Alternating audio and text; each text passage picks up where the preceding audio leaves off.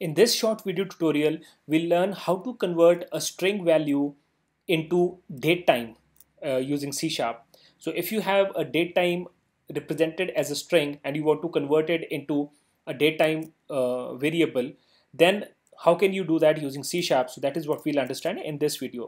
So let's say we have a string, uh, let's say we have the datetime as a string inside double quotes. So this is the datetime value which we have uh, which we have written as a string. So you might ask the user to enter some datetime value from the keyboard which C Sharp will receive as a string and then you might want to convert that string into a datetime variable. So how can you do that using C Sharp?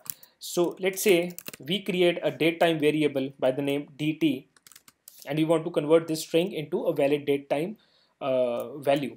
So you can use the convert class we also use the convert class for converting string to integers string to doubles. So the convert class actually has you know a lot of uh, very useful functions. One of them is the to date time function which we get from the convert class. So if we pass the string value to the to date time function in the convert class it will convert it into the datetime um, uh, value and it will store it in our variable dt one thing you need to understand is that I have written this string in the format in which uh, the time runs on my uh, laptop. So in, on my laptop, I have a setting which says that the first will be the month, the second will be the date, and the third will be the year. So on your laptop or on your uh, uh machine, this format might be different. So you need to keep that in mind. So let's run this. Let's run this code and see if we can get a valid datetime value converted by this function. So as of now, the string has uh, the datetime value, the, the date value actually in double quotes, which means it's a string. And the value of the dt variable right now is 1 slash 1 slash 01, which is the default datetime value.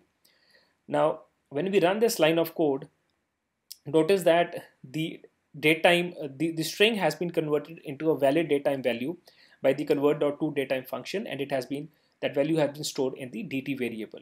So the string variable still has the value in double quotes, which means it's a string, and the dt variable has the value as a valid datetime value, which you can use in your code uh, by you know accessing the month, the date, the year, and all other components which you can get from the datetime value.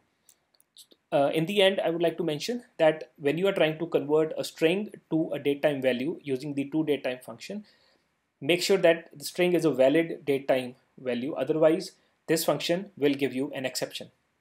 So with this we'll end this short tutorial here. For more free C Sharp learning content please visit openeschool.com slash learn C Sharp.